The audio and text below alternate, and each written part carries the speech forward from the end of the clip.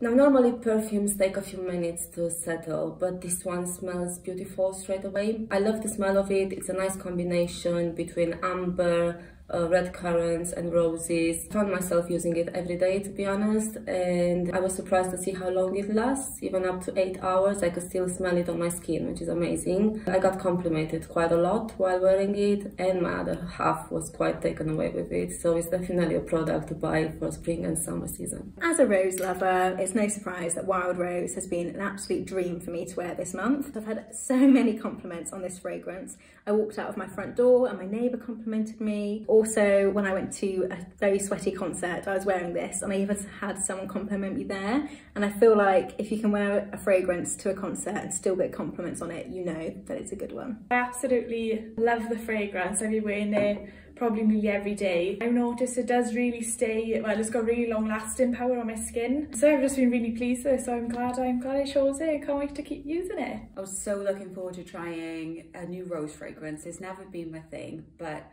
I wanted this to be it.